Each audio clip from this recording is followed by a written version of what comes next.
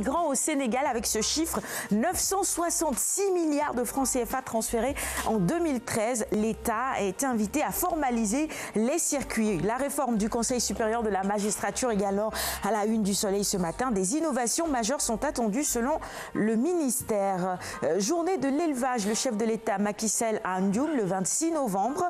Et puis Abdoumbo, porte-parole adjoint de l'APR, il dit nous travaillons à réussir le PSE. Euh, croissance, la se félicite des performances économiques et sociales du Sénégal. Et puis, développement communautaire, le PUDC sera présenté aux bailleurs à New York. Sérine Mansourtal, ONU Habitat, il déclare les défauts d'urbanisation euh, renchérit le coût des infrastructures. Le défaut d'urbanisation renchérit le coût des infrastructures. Ça, c'est un, un, sujet immobilier. Peut-être on en reparlera lundi avec Tafa. Et puis, droit d'auteur et droit voisin, la SODAV remplace officiellement le BSDA. On y est arrivé enfin.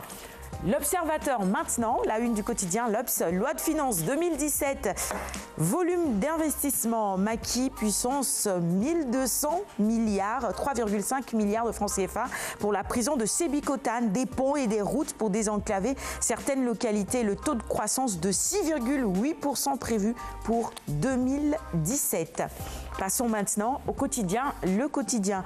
Le projet de réforme de la magistrature est à la une de ce journal. Le président reste le grand juge du CSM. Le témoin maintenant, la une du quotidien Le Témoin, exclusif, contrat pétrolier et gazier. Franck Timis dit tout, interview exclusive donc à lire euh, dans les colonnes du témoin de ce jour. Libération maintenant, Sénégal, Gabon, Côte d'Ivoire, transfigura le scandale offshore. Ces trois filiales africaines logées aux Bahamas. Et puis comment Puma, immatriculé dans un paradis fiscal, a pris part dans euh, Senstock de Cher Mbake Sey.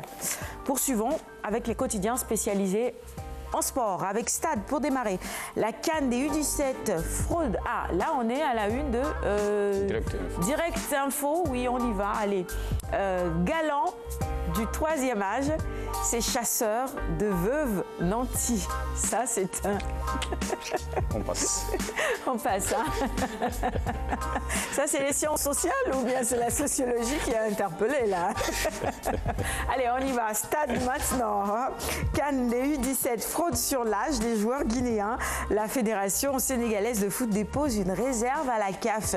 Au match aller à Dakar, la morphologie et le gabarit des U17 guinéens avaient alimenté les discussions dans les travées de Demba Diop. C'est que cette rencontre est inédite quand même à U17.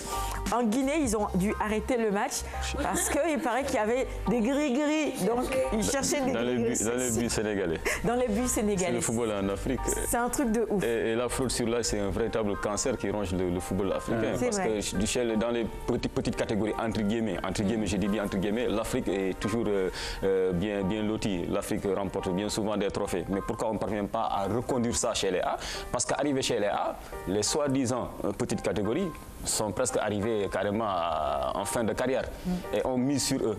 Et c'est ça un drame. Chaque année, on répète, chaque, chaque campagne, on répète les mêmes erreurs. Il nous faut vraiment euh, éviter de, tomber dans, cette euh, tricherie, de jouer avec des, des, joueurs qui jouent avec, avec leur vrai âge. C'est cela qui nous, qui nous permettrait de rivaliser avec les sélections A d'autres horizons. Et puis les, U17 guinéens hein, peuvent représenter l'équipe nationale A de la Guinée, mmh. franchement.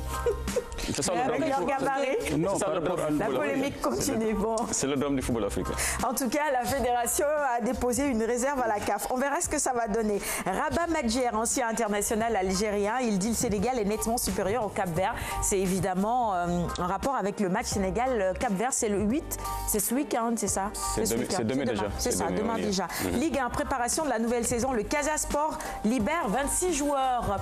On va maintenant poursuivre cette euh, revue des titres et la terminer avec Sounouland. Le choc de tous les dangers se précise. Balagri sur les tablettes d'un VIP. Ah, si Balagri revient dans l'arène, ça ce serait une bonne chose. Ça fait longtemps qu'on l'a pas vu euh, se bagarrer euh, dans, dans l'arène. On a même eu un peu peur hein, qu'il laisse tomber, mais s'il est bien là, et que ce, choc est ficelé, ce sera succulent. Mhm. Balaguer 2, Lac 2 et Gris Bordeaux à terre, Eumesen, l'étoffe du roi.